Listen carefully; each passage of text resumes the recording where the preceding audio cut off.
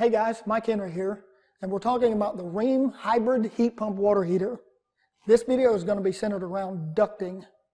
Now in a previous video entitled Room Air Requirements, we explained that because this unit needs a certain amount of air to operate, there are minimum requirements that need to be met for room air.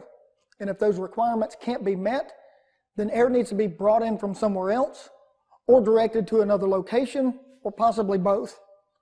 One way of accomplishing this is to use fully louvered doors or to have a minimum amount of opening at the bottom of a partially louvered door. A much more efficient way of moving air into and out of the location of the heater is by using standard and approved HVAC ductwork and fittings. Duct adapters can easily be added to the water heater on either the inlet, the outlet, or both for a seamless transition to that standard ductwork. Ducting is only necessary when there isn't enough air in the room that the heater is located in. However, it's always a good option. Think of a certain part of the house that's always warmer than the rest of the house.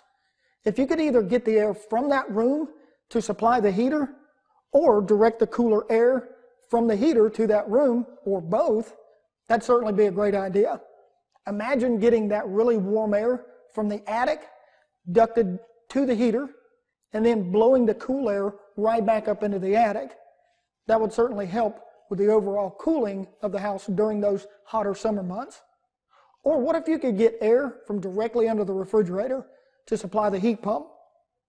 While the heat pump is running, that steady flow of heat from the fridge isn't flowing into your kitchen, which is probably one of the hottest rooms in the house.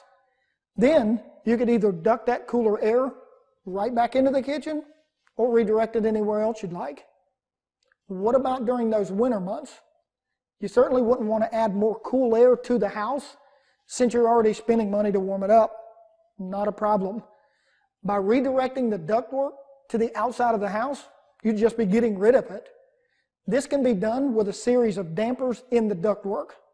You would just manually shift them over at the change of season, allowing you to duct it into a room inside of the house or ducting it to the outside of the house. Inlet and outlet adapters, terminations for ducting either inside or outside of the house, and the Rheem approved damper kit that you see here, along with other accessories, can be ordered through our parts division or you can check with your local supplier. Now these following tables show those accessories and their part numbers, maximum allowable run lengths for different duct sizes, and equivalent feet or loss for those accessories.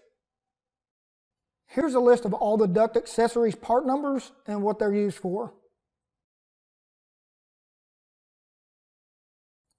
These links represent the total of the inlet plus the outlet in any combination. 7, 6, and 5 inch diameter ducting is supported. Duct reducers must be installed within 10 feet of the unit or within 2 feet of the end of the duct. Flexible bends greater than 45 degrees are considered elbows. Their inner radius should never be less than their diameter. If tighter radius bends are needed, a rigid elbow must be used. The maximum number of elbows or bends are shown in the brackets. If ducting exhausts to the outside, the Rheem duct adapter should be used no further than 10 feet from the unit. This prevents outside air from coming into the living space. I hope this video has been helpful. Thanks for watching.